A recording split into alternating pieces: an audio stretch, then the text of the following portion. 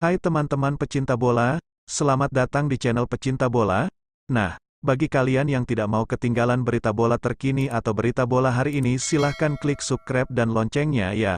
Nah, jika sudah klik loncengnya dan subscribe, mari kita ke inti videonya.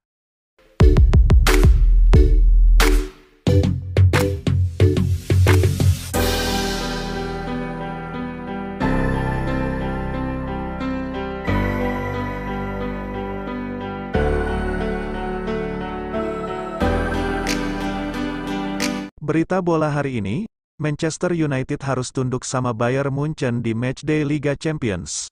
Yaps, Manchester United kalah 3-4 atas Bayern Munchen.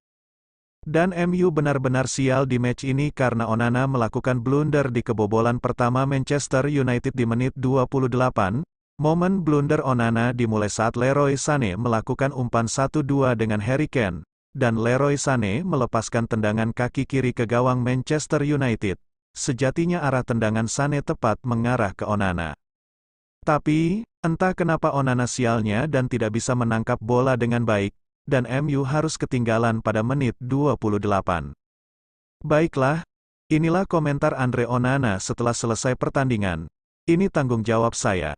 Karena saya kami tidak menang, dan saya harus belajar darinya, banyak yang harus saya buktikan, karena sejujurnya start saya di Man United tidak begitu bagus, dan saya telah mengecewakan tim ini ucap Onana seperti dikutip dari akun X Fabrizio Romano.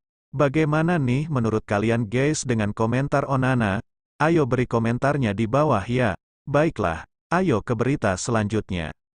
Inter Miami sukses mengalahkan Toronto FC dengan skor 4-0, dan menariknya, salah satu pemain terbaik di dunia Lionel Messi hanya bermain 37 menit, Yah, Messi digantikan oleh Roberto Taylor.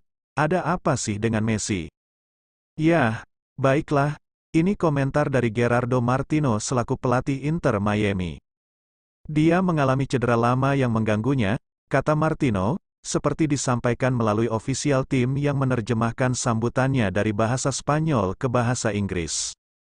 Dan Gerardo Martino juga mengatakan jika Messi kemungkinan cedera hamstring akibat kelelahan otot, Bagaimana nih?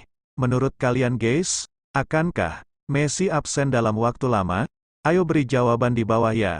Dan jika Messi absen dalam waktu lama, sangat disayangkan kita tidak akan melihat kehebatan dan keanggunan Messi di lapangan. Baiklah, itu saja pembahasan kita kali ini. Sampai jumpa.